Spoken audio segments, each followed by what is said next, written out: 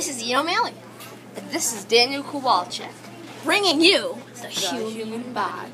So, where we're going to start with is the brain. It is placed in your head right here, under all the skin and skeleton and all the muscles. What the brain does, is it helps you move. Let's shake hands. It helps you shake hands and all that stuff. Can you can have like a conversation? You know, what do you think about this? Isn't this good? Yeah. It can help you do all that stuff. What do you? What would you be doing without the brain? Well, I think nothing. Here's Daniel. The eyes. Well, pretty much the eyes don't help you see. You can see me and Ian. But if I didn't, but if I didn't have eyeballs, I wouldn't see Ian. I would be as blind as a bat. What? Yeah, I. That's what I mean. You couldn't play video games. You couldn't do nothing. Here's Ian with the skin. So, what the skin does, it actually it covers up your muscles and your skeleton. The skin is a very important part of the body. Daniel, let's show him the skin.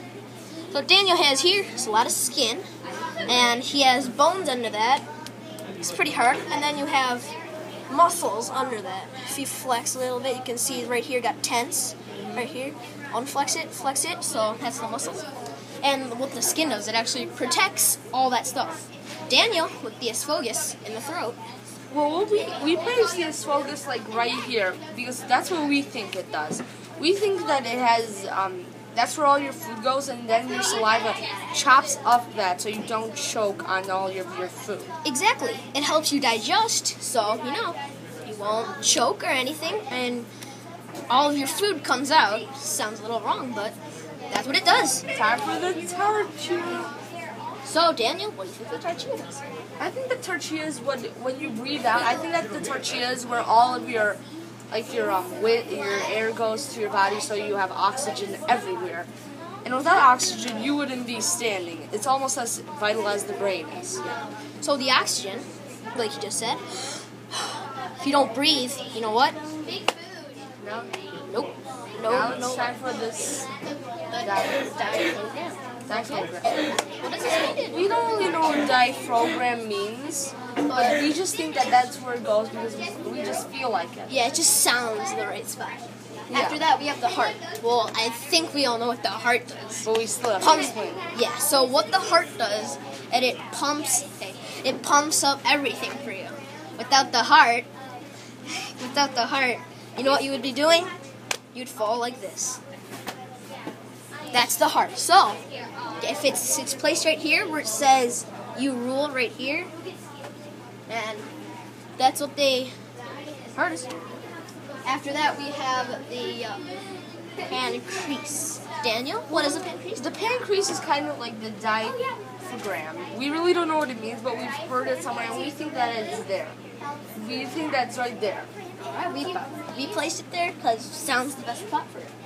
We have the lungs, of course. You know what the lungs are. It keeps most of your air in your body, and when you suck in, your tummy goes, like your chest goes out. And When your tummy breathe goes Not necessarily. Your tummy doesn't go. It kind of goes out. Yeah, kind of because Yeah, it does. so when you breathe in, air gets stored into your lungs. And when it gets stored into your lungs, it sort of flex. Give me your arm. Sort of flex out, in, out, in, out, in. Alright, that's the lungs. After that, we have the large intestine. What is the large intestine? What do you think it is for first? Um, I think the large intestine helps you like digest. It's like another form of what your digestive system is, kind of. Alright, I agree with that. And after that, we have the. All right, kiddos, I know a few of you are still recording. That's fine, but I need us us all to clean up now, please. Alright, Thank you. so if we're still recording, can we We keep. finished the last bit. All right. You've been recording for a while. We have the small intestine. What does that do, Daniel? Please. I think that small intestine is the second stage, is the another stage of your digestive system after the large intestine. Yeah, so we place it around the stomach. We're going to explain the stomach. The stomach is right here. It is placed under the chest. We placed it there because we all know where the stomach is. Yeah. It keeps a lot of the food in there and all the liquid that went into your body. And we have the pharynx and larynx. We also we really don't know what that means. Oh, we don't. Could you please go away?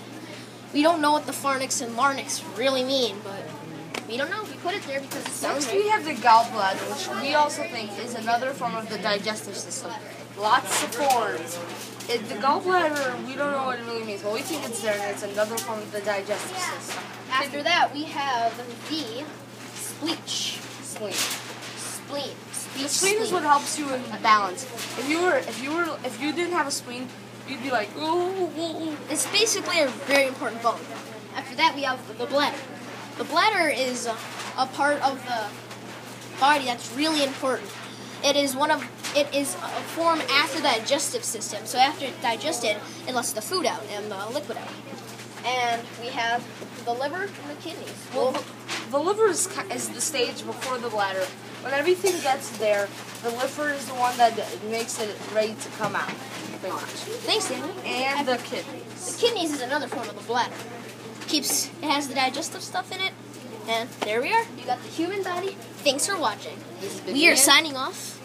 And this is Daniel. and this is Ian signing off.